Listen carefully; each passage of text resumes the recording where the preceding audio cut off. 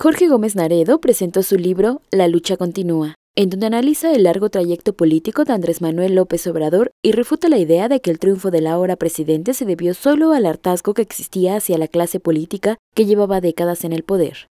En, en la euforia del triunfo, como que había sido facilísimo, ¿no? Como que si Andrés Manuel y la campaña hubieran sido una campaña rapidísima, donde desde hace, desde dos meses antes ya estaba dado que iba a ganar Andrés Manuel, y que era un proceso como que había surgido, ¿no? Rapidísimo, que había sido algo, eh, pues sí, lógico, y como si no hubiera habido un trabajo mucho más amplio. Y aparte estaba también este, esta, esta hipótesis de que el, triunfo, la explicación del triunfo, que era una explicación unicausal y que era la explicación de la derecha y que sigue siendo la explicación de la derecha, que el triunfo de Andrés Manuel había sido por el hartazgo de la gente. Ese triunfo, que es un triunfo de muchísimos años, de muchísimas luchas, ni siquiera nos lo dejaban a nosotros, ¿no? O sea, era un triunfo de ellos, porque no es que ustedes hubieran ganado, nosotros perdimos porque hicimos las cosas mal. Entonces era así como que, a ver, hay que pensar y eso es lo que, lo que, lo que intenté realizar. Para Ackerman el libro es una síntesis interdisciplinaria debido a la formación del autor, que es historiador y periodista. Por ello representa una gran apuesta, porque es una mirada diversa con un análisis profundo.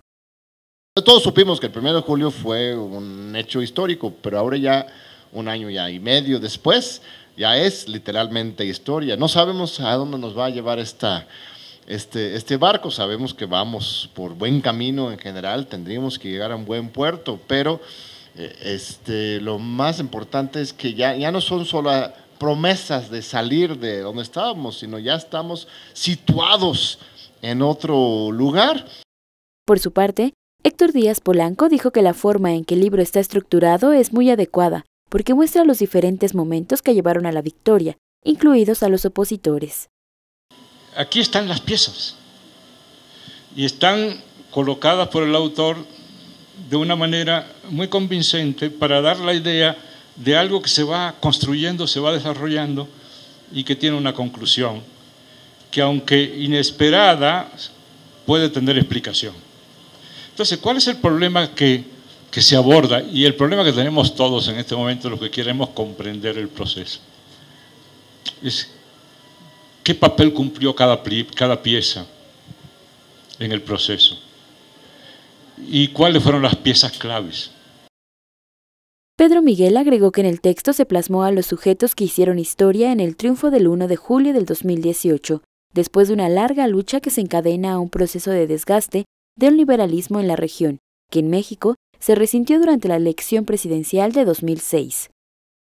Y, em, y este es un libro de los que hicimos historia, que está referido a los que hicimos historia, no hecho por un historiador, aunque seas historiador, sino por un comunicador, por un informador, por un periodista.